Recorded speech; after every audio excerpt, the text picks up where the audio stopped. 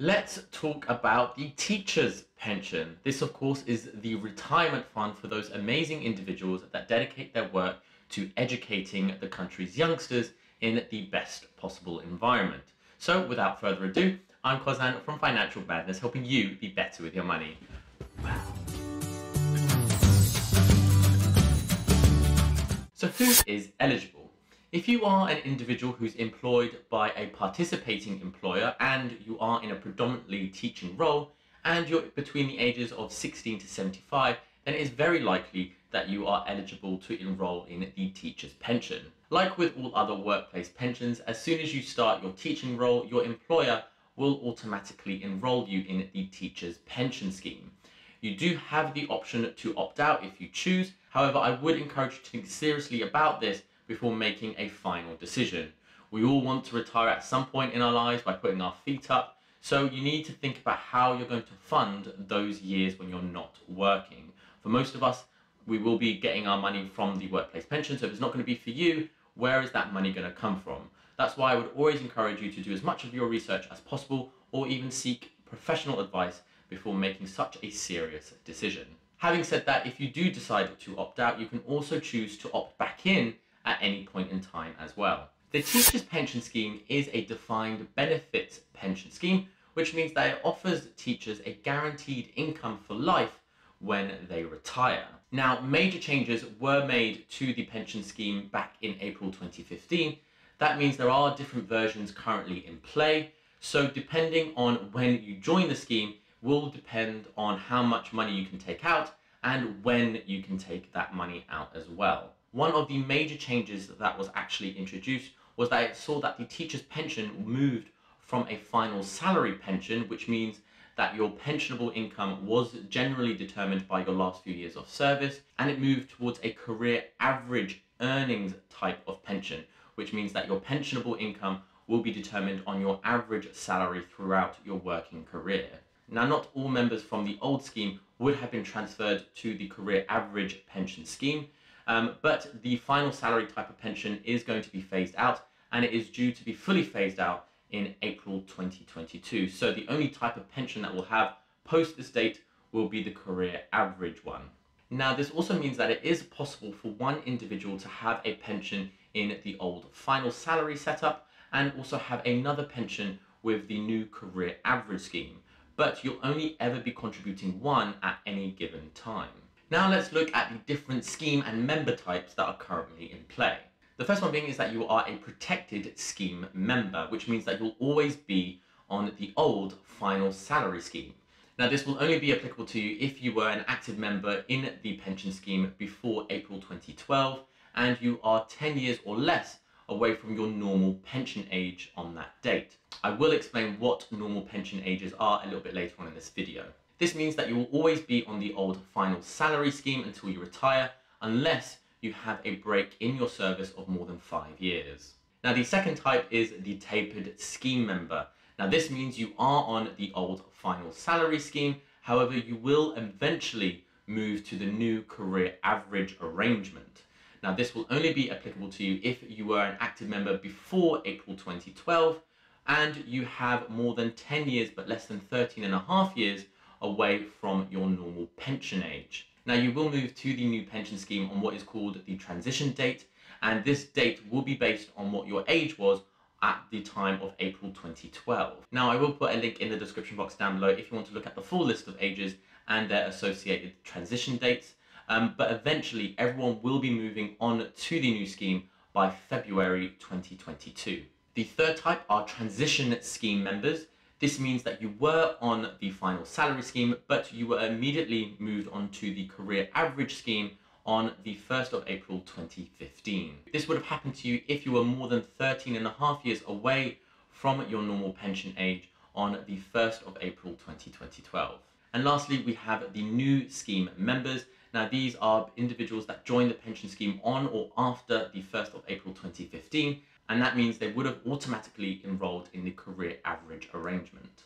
So how much will you be contributing to the scheme? Now, both full-time and part-time employees will be contributing a percentage of their gross salary into their pension pot every month. Now, how much that percentage is, is based on what your salary is. Now, I'll put a list here of the full salary and percentage brackets for this tax year, but they are revised yearly, so I would encourage you to check online and find out what the latest contribution rates are uh, for that given date. But your employer should be notifying you every time there is a change. So as you can see here, if you're getting a salary up to 28,310, you'll be contributing 7.4% of your monthly salary to your pension. If you are earning above 81,662, this will go up to 11.7%. Now, at first glance, when you do look at the contribution rate, it might actually seem like a lot. However, please do remember that you do get government tax relief every time that you contribute towards your pension. And what this means is that for any contributions that you make, those contributions should not be subject to any tax whatsoever. Now, I will demonstrate this with a simple example. Let's say I earned £1,500 per month and I contributed absolutely nothing to my pension. I'll be charged 20% at the income tax rate. Uh, that means £300 goes to the tax person and I am left with £1,200 in my take-home pay. Now let's say in the next month I actually decide to enroll in the pension scheme and based on my salary I would be contributing 7.4% to my pension pot every month. So from my £1,500 per month that means £111 goes to my pension pot, that's 7.4%. And the tax will be made on the remaining balance which would be 1,500 minus that 111 pounds. So now the taxable income will now be 1,389 pounds. And again, I will be charged 20% on income tax.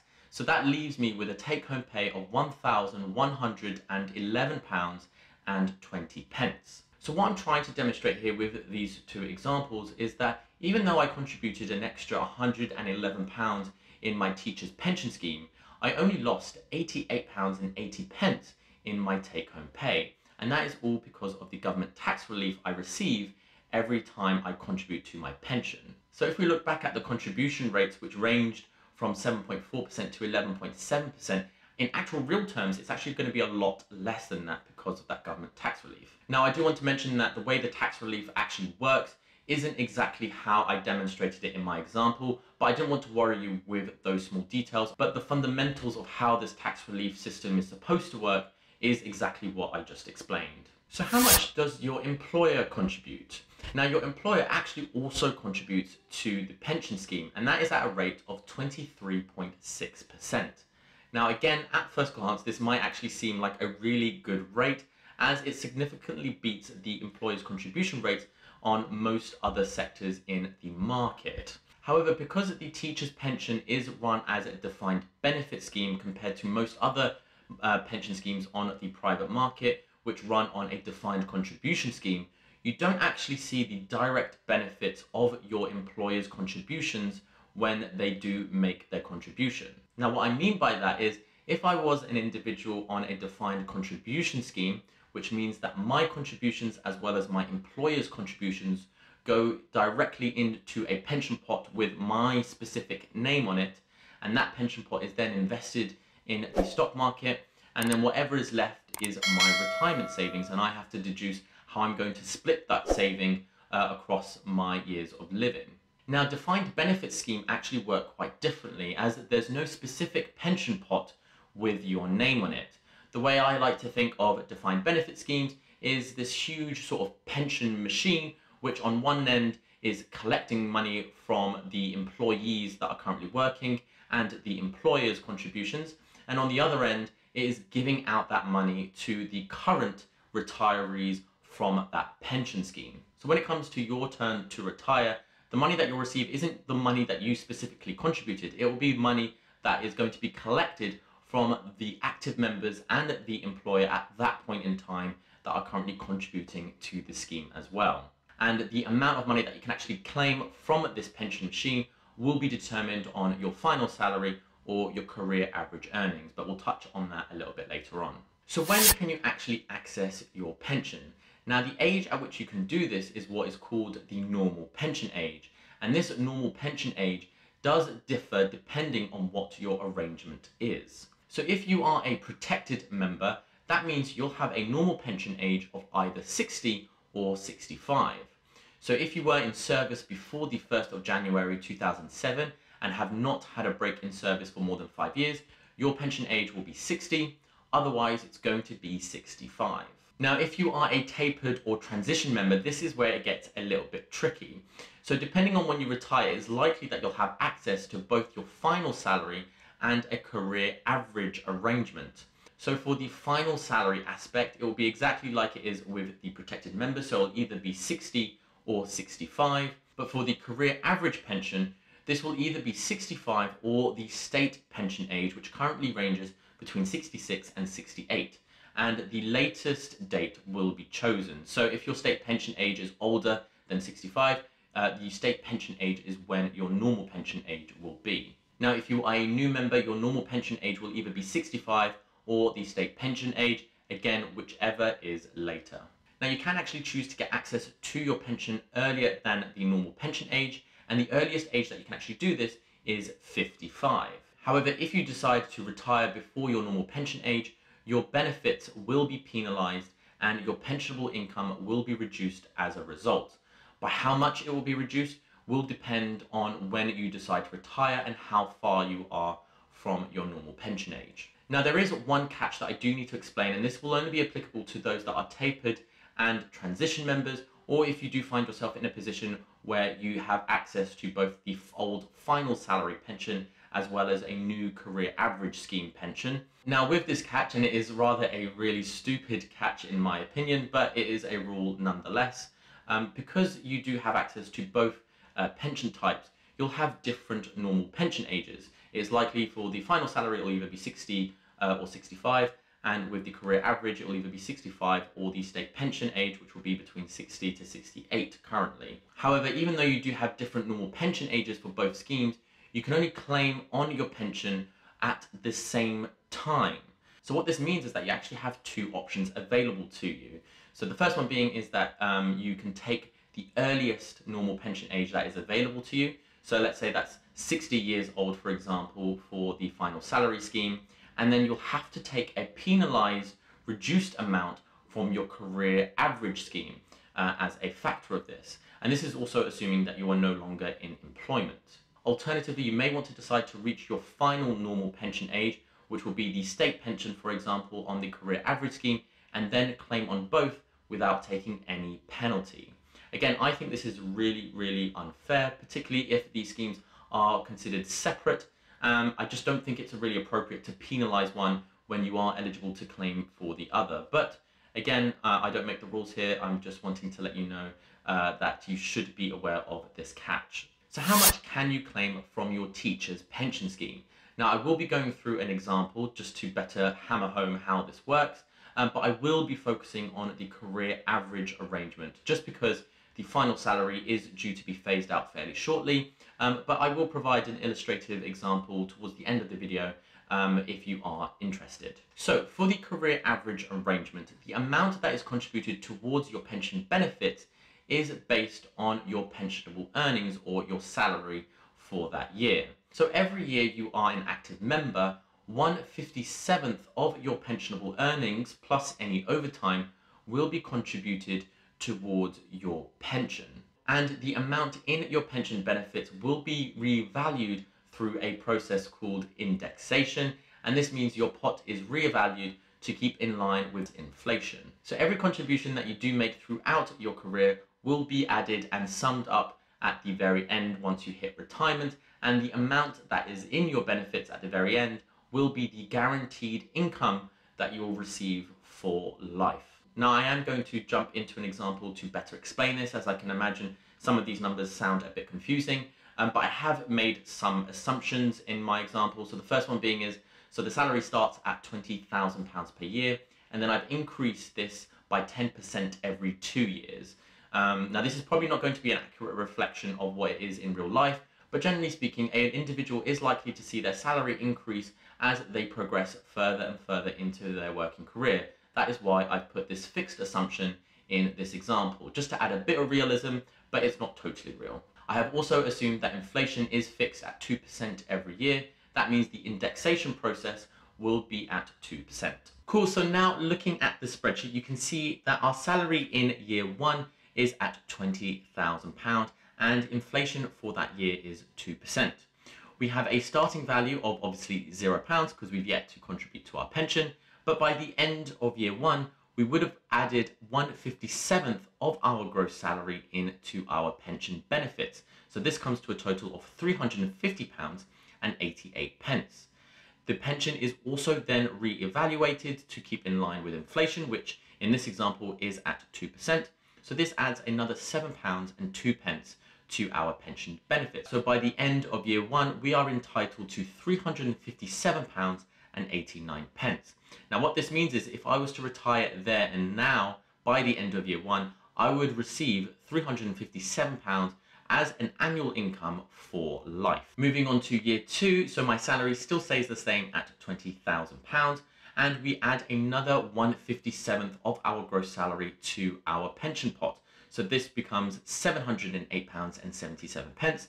This is then re-evaluated adding another £14.18 to our entitlement. So by the end of year two, we have £722.95. So again, if I was to retire here and now, I would be receiving this number for life. Now let's just fast forward to year 25. Again, remember I am increasing the salary by 10% every two years. So that means by year 25, we have a salary of £51,874 and you can see in our pension entitlement we will receive £19,486 and 7 pence, which is actually really, really good considering that you will be receiving this as a pensionable annual income for life. Cool, so hopefully that has given you some insight on how the pension benefits work for the teacher's pension scheme.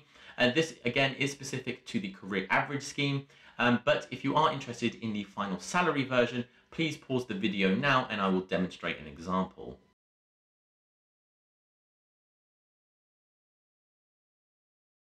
So to wrap up, I just wanted to highlight a few benefits of the teacher's pension scheme. The first one being is that you do get a guaranteed income for life, which is actually very hard to find on the market. Defined benefit schemes are more common in the public sector. In the private sector, they tend to run on a defined contribution scheme, which doesn't have that guaranteed income for life benefit with it. So this is a really strong positive for this scheme. Another benefit is that you are also able to take out up to 25% of your pension as a tax-free lump sum.